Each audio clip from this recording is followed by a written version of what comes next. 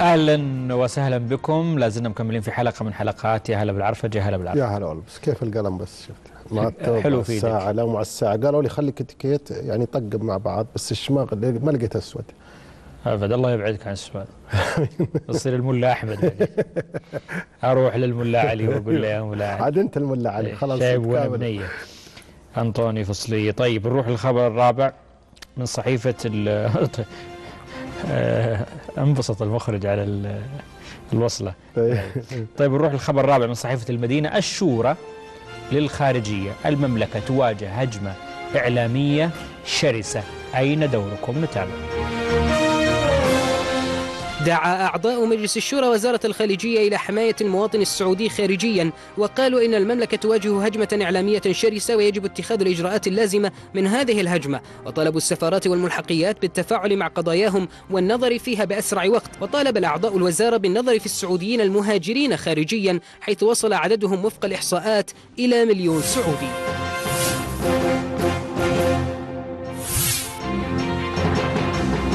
تفضل يا دكتور. أهلا والله. شوف ترى للأمانة أنا وأنت دا- قعدنا السنتين الأولى أو السنة ونص نجلد الشورى. الآن الشورى للأمانة صار والله يحمل. عندهم لمسات حلوة. بدأ يحمر العين أو كما يقولون بدأ يعض شوية. شوف بدأت الأنياب تطلع ويكشرون على انيابهم أحيانا مثل الأخبار هذه وهذا جيد هذا اللي نتمنى. بس شوف ما حد قال لهم وين رايحين ولا حد سجنهم لما رفعوا الصوت. ولو يرفعون أكثر بعد أحسن. في صالح في مصلحة الوطن والمواطن هذا اللي نريد. لأن كلنا في الأخير نخدم مصلحة الوطن بأي شكل كان. عندنا الآن في الخبر جهتين الهجمة الإعلامية الشرسة وعندنا الرعايا السعوديين المقيمين خارج السعودية. وهذه كل واحدة لها تفصيل. الهجمة الشرسة انت لما تقرا في مقال في صحيفة المدينة أو في عكاظ واحد يفضح السياسة الإيرانية، إيش نستفيد؟ أنا وأنت ما عارفين الكلام اللي يقول والقراء عرب. نحن يا جماعة نريد نريد قنوات تخاطب الناس بلغاتهم وفي أماكنهم، مثلا مثلا لما يكون مثلا في قناة مخصصة بالفارسية هم فتحوا قبل بس ما أدري عن نشاطها.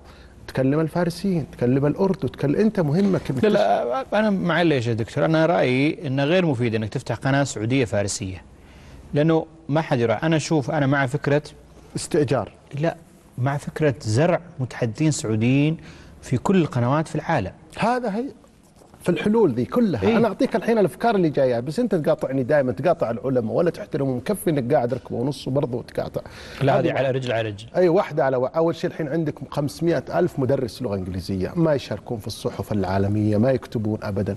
نحن نريد أن ندافع أو نبين السياسة السعودية كل بجهده متحدث رسمي ما في جيد كاتب بسيط حتى لو كاتب في صفحة القراء يعقب على مقال في صحف فارسيه هذا شيء جيد. تعرف أنت دائما زمان كانت الإذاعات تشوش على بعضها. كان العالم العربي يشوش على إذاعة لندن لأنها تجيب أخبار غير فشوف كيف كان اذاعه لندن العربية. نجي للشيء الثاني. عندك الوكالة. في وكالة الإعلام الخارجي في وزارة الثقافة والإعلام. هذه لا قيمة لها في وزارة الثقافة. هنا طالب مجلس الشورى بنقلها إلى وزارة الخارجية وهذا شيء جيد أيضا. كل الدوائر اللي تعتني بالخارج تضمها الخارجية وتبدأ أنت بحملة مرتبة أو حملة الناس الطيبة. خلي واحد مواطن بسيط يجيد اللغة الفارسية إنه يدافع عن السعودية في صحف فارسية إنجليزية ايا كان. بس لا أحد يكتب لي في الداخل لأن الداخل ترى إحنا موال بنغني لبعضنا. أنت تقول كلمة وأنا أصفق لك. هذا الصح. عندك الجزء الثاني الرعاية السعوديين وهذا موضوع مهم. هم يقولون إنهم مليون اللي خارج السعودية السعوديين اللي خارج. أنا أشك في الرقم لأنه مري... قال لي السفير القطان في مصر قال لي 400 ألف تقريبا سعودي في مصر لوحدها. فما بالك بقية دول العالم؟ أكثر من مليون. هذول يحتاجون رعاية يحتاجون اهتمام لأنه السفارة حتى المعمر فيلسوفنا العظيم له كلام جميل. دائما يسافر برا. قلت له قال يا أخي برا لا ظلمك أحد لك مرجع تروح السفارة. هنا لو واحد ظلمك ما تدري وين تروح. يعني في الرياض لو ظلمت وين تروح؟ ديوان المظالم. ولا القضاء ولا الشرطة ما تدري. لكن أنت لو يظلمك أحد في مصر تروح للسفارة تحتمي في شؤون الرعاية أو أظن غيروا اسمها إلى اسم آخر. هنا لك أنت مرجعية. أنا أتمنى انه نركز على الجانبين ومتفائلين بالأستاذ عادل الجبير وزير الخارجية أنه يلتفت شوي يعني إحنا ما نبغى السياسة فقط تشغل الناس يحط وكيل للخارجية لدراسه أوضاع الرعاية سواء كان اهتمام تسهيل استشارات قروض. دائما نسمع نسمع عن عمليات النصب وكذا. السفارة ما هي مسؤولة عن كل واحد لكن أيضا تتحمل جزء من المسؤولية إنها تتواصل مع الناس أو الناس أيضا يتواصلون معها أول ما تصل لأي بلد تخبر السفارة تعطيهم صورة من جوازك كذا. لا سمح الله لو سرق الجواز يكون أنت منتبه له وعندك صورة منه في, السفارة بالتالي.